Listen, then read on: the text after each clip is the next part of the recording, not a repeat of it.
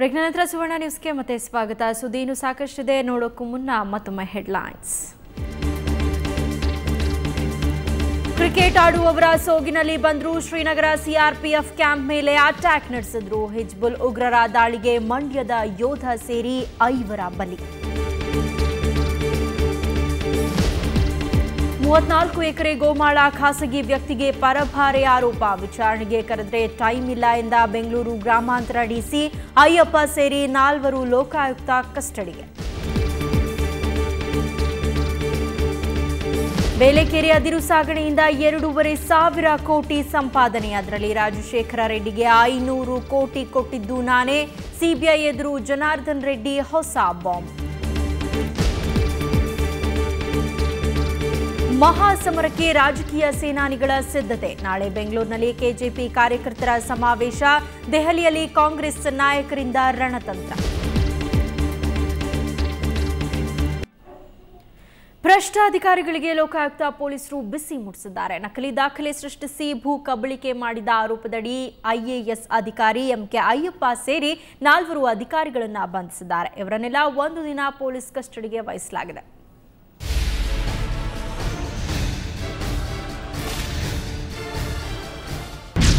ಬೆಂಗಳೂರು ಗ್ರಾಮಾಂತರ ಡಿಸಿ ಅಯ್ಯಪ್ಪ ಅಂದರ್.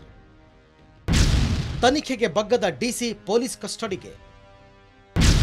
ಇತರ ಮೂವರು ಅರೆಸ್ಟ್. ಯಲಹಂಕ ತಾಲೂಕು ಮಾದಪ್ಪನಹಳ್ಳಿಯ ಸರ್ಕಾರಿ ಜಮೀನನ್ನು ಅಕ್ರಮವಾಗಿ ದಾಖಲೆ ತಿರುಚಿದ ಆರೋಪದಲ್ಲಿ ಡಿಸಿ ಅಯ್ಯಪ್ಪ ಅವರನ್ನು ಬಂಧಿಸಲಾಗಿದೆ. ಇದೇ ವೇಳೆ ತಹಶೀಲ್ದಾರ್ ಗೋಪಾಲಸ್ವಾಮಿ, ರೆವಿನ್ಯೂ ಇನ್ಸ್ಪೆಕ್ಟರ್ ಬಾಲಕೃಷ್ಣಸ್ವಾಮಿ ಹಾಗೂ ಸಬ್ ರಿಜಿಸ್ಟ್ರಾರ್ ರವಿಕುಮಾರ್ ಬಂಧಿತ ಇತರರು. ಇಷ್ಟಕ್ಕೂ ಪ್ರಕರಣ ಏನು ಅಂತ ನೋಡ್ತಾ ಹೋದ್ರೆ ಯಲಹಂಕ ಬಳಿಯ ಮಾದಪ್ಪನಹಳ್ಳಿಯ ಮೂವತ್ನಾಲ್ಕು ಎಕರೆ ಸರ್ಕಾರಿ ಗೋಮಾಳ ಅಕ್ರಮವಾಗಿ ಪರಭಾರೆ ಮಾಡಲಾಗಿತ್ತು. ನರಸಿಂಹಯ್ಯ ಹೆಸರಿಗೆ ಸರ್ಕಾರಿ ಭೂಮಿ ಪರಭಾರಿಯಾಗಿತ್ತು. ಡಿಸಿ ಸೇರಿದಂತೆ ರೆವಿನ್ಯೂ ಅಧಿಕಾರಿಗಳು ಇದರಲ್ಲಿ ಭಾಗಿಯಾಗಿದ್ದರು.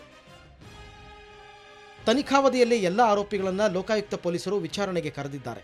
ಆದರೆ ತನಗೆ ಬರಲು ಸಾಧ್ಯವಾಗ್ತಿಲ್ಲ ಅಂತ ಅಯ್ಯಪ್ಪ ಲೋಕಾಯುಕ್ತರಿಗೆ ಪತ್ರ ಬರೆದಿದ್ದಾರೆ. ಹೀಗಾಗಿ ಇವರನ್ನು ಬಂಧಿಸಲಾಗಿದೆ. ಸಿಂಹಯ್ಯ ಅನ್ನೋರೊಬ್ಬ ಹೆಸರಿನಲ್ಲಿ ಇದನ್ನೆಲ್ಲ ಮಾಡಲಿಕ್ಕೆ ಒಂದು ಮಾಡಲಾಗಿದೆ. ಈ ಸಂಬಂಧ ಬೆಂಗಳೂರು ಗ್ರಾಮಾಂತರ ಜಿಲ್ಲೆಯ ಜಿಲ್ಲಾಧಿಕಾರಿಗಳಾದ ಅಯ್ಯಪ್ಪ ಇವರು ನಾಲ್ಕು ಬೇರೆ ಬೇರೆ ಆದೇಶಗಳನ್ನು ಹೊರಡಿಸಿದ್ದಾರೆ.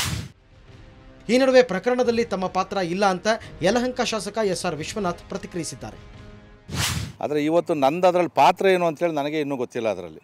ಅದರಲ್ಲಿ ನಾನು ಕೇಳಿದಾಗ ಅವರೇನು ಹೇಳ್ತಾರೆ ಅಂದರೆ ಇವರ ಕೆಲವು ಬಂಧುಗಳು ಸೇರಿ ಜಮೀನನ್ನು ಮಾಡಿರೋದ್ರಿಂದ ಇವರು ಪ್ರಭಾವ ಬೀರವರೆ ಅಂತೇಳಿ ನಾನು ಎಲ್ಲಾದರೂ ಪ್ರಭಾವ ಬೀರಿರ್ತಕ್ಕಂಥ ಸನ್ನಿವೇಶ ಕಂಡು ಬಂದರೆ, ಮತ್ತು ಎಲ್ಲಾದರೂ ನಾನು ಅದರಲ್ಲಿ ಕೈಯಾಡಿಸಿದರೆ ಖಂಡಿತವಾಗಿ ಕೂಡ ಕಾನೂನು ಅದೇ ಆದ ರೀತಿಯಾದಂಥ ಒಂದು ಶಿಕ್ಷೆಯನ್ನು ವಿಧಿಸ್ತದೆ ಅದರಲ್ಲಿ.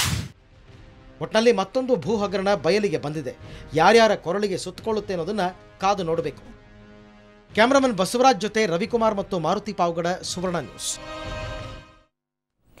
ಈ ನಡುವೆ ತಿಪ್ಪಸಂದ್ರದಲ್ಲಿರೋ ಡಿಸಿ ಅಯ್ಯಪ್ಪ ನಿವಾಸದ ಮೇಲೆ ಲೋಕಾಯುಕ್ತ ಪೊಲೀಸರು ದಾಳಿ ನಡೆಸಿದ್ರು. ತಡರಾತ್ರಿಯವರೆಗೂ ದಾಳಿ ನಡೆಸಿದ ಲೋಕಾ ಪೊಲೀಸರು ಮಹತ್ವದ ದಾಖಲೆಗಳನ್ನು ವಶಕ್ಕೆ ಪಡೆದುಕೊಂಡ್ರು. ಇದೇ ವೇಳೆ ಬಂಧನಕ್ಕೊಳಗಾಗಿದ್ದ ಡಿಸಿ ಅಯ್ಯಪ್ಪನವರನ್ನು ನಿವಾಸಕ್ಕೆ ಕರೆತರಲಾಗಿತ್ತು. ಲೋಕಾಯುಕ್ತ ತನಿಖಾಧಿಕಾರಿ ಪಾಲಾಕ್ಷಯ್ಯ ಡಿವೈಎಸ್ಪಿ ಸ್ವಾಮಿ ನೇತೃತ್ವದಲ್ಲಿ ನಡೆದ ದಾಳಿ ವೇಳೆ ವಿವಿಧ ದಾಖಲಾತಿಗಳನ್ನು ಪರಿಶೀಲಿಸಲಾಯಿತು.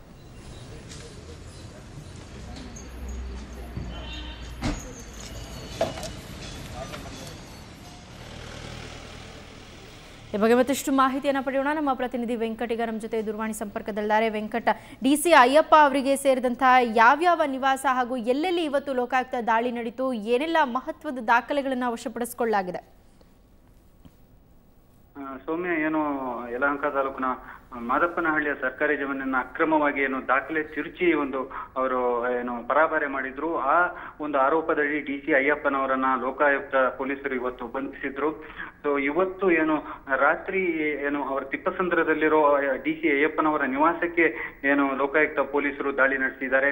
ಈ ದಾಳಿ ನಡೆಸಿ ಸುಮಾರು ಎರಡು ಮೂರು ತಾಸುಗಳ ಕಾಲ ಒಂದು ದಾಳಿ ನಡೆಸಿದ್ರು. ಈ ವೇಳೆ ಏನು ಸಾಕಷ್ಟು ಕಡತಗಳನ್ನ, ದಾಖಲಾತಿಗಳನ್ನ ಪರಿಶೀಲಿಸಿದ್ರು. ಸಾಕಷ್ಟು ಮಹತ್ವದ ದಾಖಲಾತಿಗಳನ್ನ ಆ, ವಶಕ್ಕೆ ಪಡೆದುಕೊಂಡಿದ್ದಾರೆ. ತನಿಖಾಧಿಕಾರಿ ಪಾಲಾಕ್ಷಯ ಹಾಗೂ ಲೋಕಾಯುಕ್ತ ಡಿವೈಎಸ್ಪಿ ಸ್ವಾಮಿ ಸುಮಾರು ನಾಲ್ಕು ಲೋಕಾಯುಕ್ತ ಅಧಿಕಾರಿಗಳು ಈ ಒಂದು ದಾಳಿ ನಡೆಸಿದ್ದಾರೆ. ಸುಮಾರು ಮೂರರಿಂದ ನಾಲ್ಕು ತಾಸುಗಳ ಕಾಲ ಈ ಒಂದು ದಾಳಿ ಮುಂದುವರೆದಿತ್ತು. ಆ, ಅದರ ಇದರ ಜೊತೆಗೆ ಇದೇ ವೇಳೆ ಏನು ಇವರು ಡಿ ಸಿ ಅಯ್ಯಪ್ಪರವರನ್ನು ಅವರು ಏನು ಕರೆ ಕರೆತಂದಿದ್ರು ಅವರ ಸಮ್ಮುಖದಲ್ಲೇ ಈ ಒಂದು ಕಡತಗಳನ್ನ ಪರಿಶೀಲನೆ ಮಾಡಿದ್ರು. ಸಾಕಷ್ಟು ಮಹತ್ವದ ದಾಖಲಾತಿಗಳನ್ನ ವಶಕ್ಕೆ ಪಡ್ಕೊಂಡಿದ್ದಾರೆ. ಇವತ್ತು ಏನು ಅವರನ್ನ ಪೊಲೀಸ್ ಕಸ್ಟಡಿಗೆ ಒಪ್ಪಿಸಲಾಗಿದೆ. ಸೊ ನಾಳೆ ಅವರನ್ನ ನ್ಯಾಯಾಲಯದ ಮುಂದೆ ಹಾಜರುಪಡಿಸಿ ಏನು ನ್ಯಾಯಾಂಗ ಬಂಧನಕ್ಕೆ ಕೊಡಲಾಗುವುದು, ಸೌಮ್ಯ. ಧನ್ಯವಾದ ವೆಂಕಟ್ ತಮಿಳ ಮಾಹಿತಿಗೆ.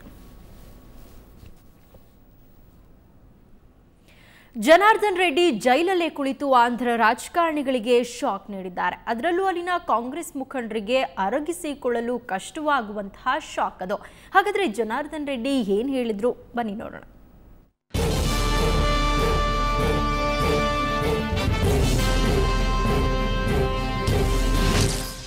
ಅಕ್ರಮ ಗಣಿಗಾರಿಕೆ ಪ್ರಕರಣದಲ್ಲಿ ಜೈಲು ಪಾಲಾಗಿರುವ ಜನಾರ್ದನ ರೆಡ್ಡಿ ಕುಳಿತಲಿಂದಲೇ ಹೊಸ ಬಾಂಬ್ ಸಿಡಿಸುತ್ತಿದ್ದಾರೆ ಬೇಲೆಕೇರಿ ಅದಿರು ಅಕ್ರಮ ಸಾಗಣೆ ಪ್ರಕರಣಕ್ಕೆ ಸಂಬಂಧಿಸಿದಂತೆ ಹೊಸ ಹೊಸ ಮಾಹಿತಿಗಳನ್ನು ಸಿಬಿಐ ಎದುರು ತೆರೆದಿಟ್ಟಿದ್ದಾರೆ.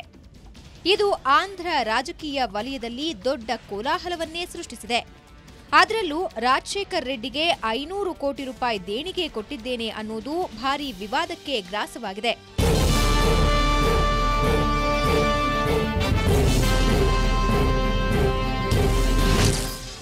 ಆಂಧ್ರಪ್ರದೇಶ ಮಾಜಿ ಸಿಎಂ ರಾಜಶೇಖರ್ ರೆಡ್ಡಿಗೆ ಐನೂರು ಕೋಟಿ ರೂಪಾಯಿ ದೇಣಿಗೆ ನೀಡಿದ್ದಾಗಿ ಸಿಬಿಐ ತನಿಖೆ ವೇಳೆ ಜನಾರ್ದನ ರೆಡ್ಡಿ ಬಾಯ್ಬಿಟ್ಟಿದ್ದಾರೆ. ಬೇಲೆಕೇರಿ ಬಂದರು ಮೂಲಕ ಸುಮಾರು ಮೂವತ್ತು ಲಕ್ಷ ಮೆಟ್ರಿಕ್ ಟನ್ ಅದಿರನ್ನ ಅಕ್ರಮವಾಗಿ ಸಾಗಣೆ ಮಾಡಿ ಎರಡೂವರೆ ಸಾವಿರ ಕೋಟಿ ರೂಪಾಯಿ ಸಂಪಾದಿಸಿದರು. ಇದೇ ಹಣದಿಂದಲೇ ರಾಜಶೇಖರ್ ರೆಡ್ಡಿಗೆ ದೇಣಿಗೆಯಾಗಿ ನೀಡಿದ್ದಾಗಿ ರೆಡ್ಡಿ ಹೇಳಿದ್ದಾರೆ. ಎರಡ್ ಸಾವಿರದ ಒಂಬತ್ತರಲ್ಲಿ ಆಂಧ್ರಪ್ರದೇಶ ವಿಧಾನಸಭೆಗೆ ನಡೆದ ಚುನಾವಣೆ ವೇಳೆ ಈ ಐನೂರು ಕೋಟಿ ಕೊಟ್ಟಿದ್ದಾರಂತೆ. ಅಲ್ಲದೆ ಅನಂತಪುರ ಜಿಲ್ಲೆಯ ಕಾಂಗ್ರೆಸ್ ಅಭ್ಯರ್ಥಿಗಳ ಖರ್ಚು ವೆಚ್ಚವನ್ನ ತಾವೇ ಭರಿಸಿದ್ದಾಗಿ ರೆಡ್ಡಿ ಮಾಹಿತಿ ನೀಡಿದ್ದಾರೆ. ಇದಕ್ಕೆ ಸಂಬಂಧಿಸಿದಂತೆ ಸಿಬಿಐ ಅಧಿಕಾರಿಗಳು ದಾಖಲೆಗಳನ್ನ ಕಲೆ ಹಾಕಿದ್ದಾರೆ.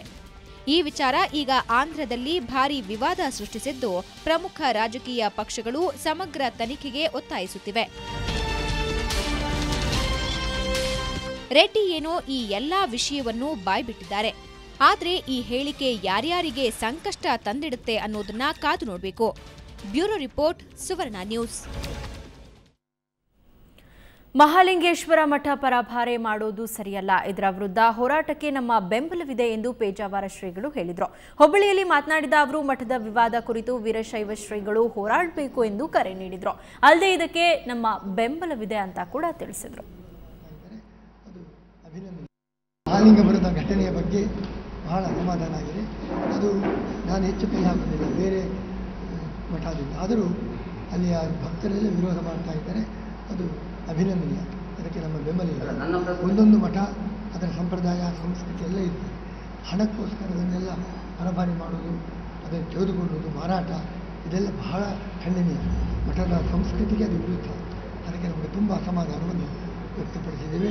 ಈಗಾಗಲೇ ನಮ್ಮ ಶರಣರು ಆ ಬಗ್ಗೆ ಪ್ರಯತ್ನ ಮಾಡ್ತಾ ಇದ್ದಾರೆ. ಚಿತ್ರ ಚಿತ್ರದುರ್ಗದ ಶರಣರು ಸರಿ ಮಾಡಲಿಕ್ಕೆ ಪ್ರಯತ್ನ ಮಾಡ್ತಾ ಇದ್ದಾರೆ. ಅವರ ಪ್ರಯತ್ನದಿಂದ ಗದಗ ತಹಸೀಲ್ದಾರ್ ಸಂಗನ ಬಸಯ್ಯ, ಗಣಾಚಾರ್ಯ ಅನುಚಿತ ವರ್ತನೆ ಖಂಡಿಸಿ ಸಿಬ್ಬಂದಿ ಪ್ರತಿಭಟನೆ ನಡೆಸಿತು. ಸಾಮೂಹಿಕ ರಜೆ ಹಾಕುವ ಮೂಲಕ ತಹಸೀಲ್ದಾರ್ ವಿರುದ್ಧ ಆಕ್ರೋಶ ವ್ಯಕ್ತಪಡಿಸಿತು. ಕೆಳ ಹಂತದ ಸಿಬ್ಬಂದಿಯೊಂದಿಗೆ ಕೆಟ್ಟ ರೀತಿಯಲ್ಲಿ ವರ್ತನೆ ಮಾಡ್ತಾ ಇದ್ದು, ಈ ಬಗ್ಗೆ ಸಂಬಂಧಪಟ್ಟ ಅಧಿಕಾರಿಗಳಿಗೆ ದೂರು ನೀಡಿದ್ರೂ ಕೂಡ ಯಾವುದೇ ಕ್ರಮ ಕೈಗೊಂಡಿಲ್ಲ. ಏನಾದರೂ ಕ್ರಮ ಜರುಗಿಸುವಂತೆ ಅಪರ ಜಿಲ್ಲಾಧಿಕಾರಿಗೆ ಮನವಿ ಸಲ್ಲಿಸಿದರು.